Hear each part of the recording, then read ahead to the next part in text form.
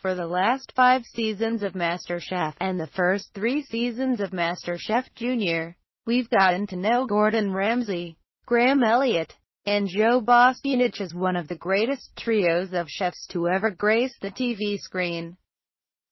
But this season, Joe is gone and there's a fresh face. Christina Tosi. Wet Paint recently spoke with Graham, the 38-year-old culinary juggernaut from Chicago, about the new judge and how this season will differ from the rest now that there's a woman in the midst who's a pro at whipping up pastries and other bakery concoctions. For those who will miss Joe, Graham says that, while he's surely missed, there's a lot of opportunity going forward with having Christina in the mix. Joe was amazing and he's a great friend but I think it's cool to change up the dynamic and have a new judge with a forte in baking and pastry, Graham dishes. It adds something I think we've been missing for a long time.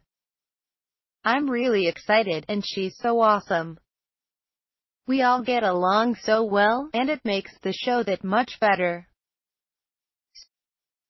In fact, one of the things that might improve upon the already phenomenal series is the opportunity to explore new food territories that are more up Christina's alley.